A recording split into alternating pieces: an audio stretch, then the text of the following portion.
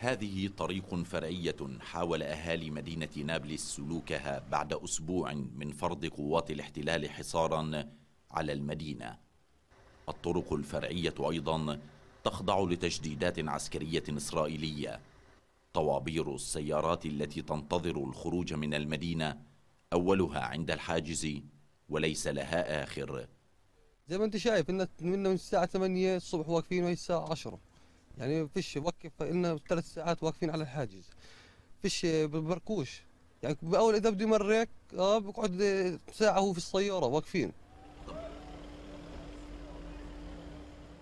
داخل المدينة تعطلت الحياة التجارية بشكلها الطبيعي حيث تشكل نابلس سوقا لعشرات القرى المحيطة بها.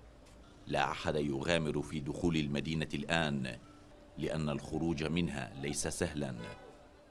بالنسبة تعرف الحصار إيه، شددوا على الحواجز ممنوع الدخول ممنوع الخروج. بالنسبة لعرب الداخل صاروا يشددوا ما بيقدروش يجوا. طبعا إحنا أهل البلد ما بنقدرش نطلع نروح على مدينة نيجي على مدينة.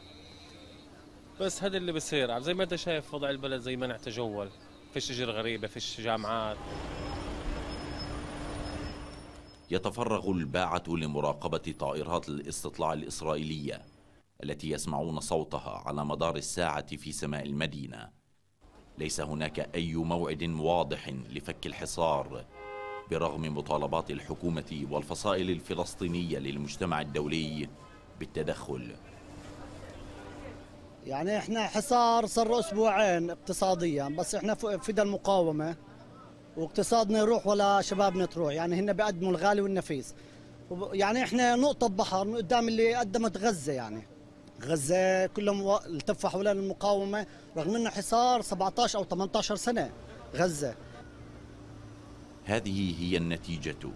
الناس هنا يقولون إن الضربة الاقتصادية بالحصار لن تفلح في إبعاد الناس عن المقاومة بل تزيد من احتضانهم لها. حصار قوات الاحتلال لمدينة نابلس يندرج تحت بند العقوبات الجماعية المرفوضة في القانون الدولي.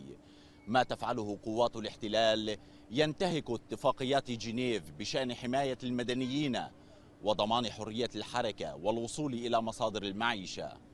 عميد شحادة العربي نابلس.